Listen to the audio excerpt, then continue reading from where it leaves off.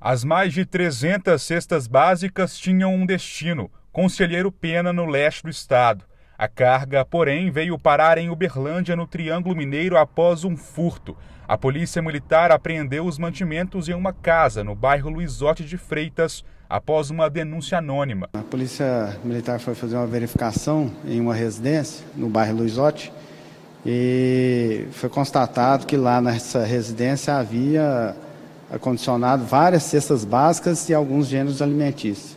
Na denúncia ainda confirmava, ainda é, é, delatava né, que essas cestas básicas eram provenientes da cidade de Conselheiro Pena.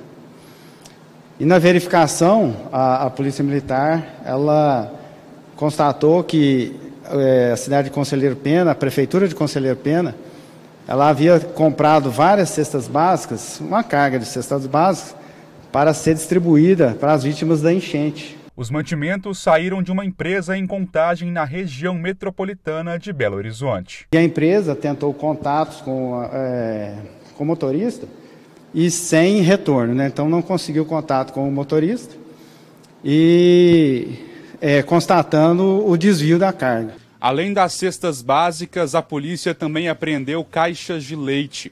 Quatro pessoas foram presas por receptação. Duas delas têm passagem. Um dos presos é morador da casa e não soube informar a polícia como a carga chegou ao imóvel. Foram presos por receptação, né?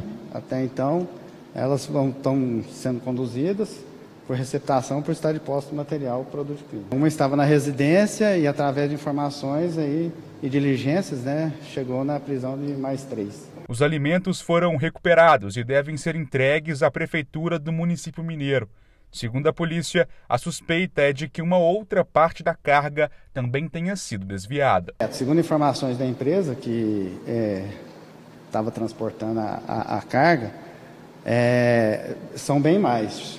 Foi localizado cerca de 350 cestas básicas, mas a carga total ela é bem maior.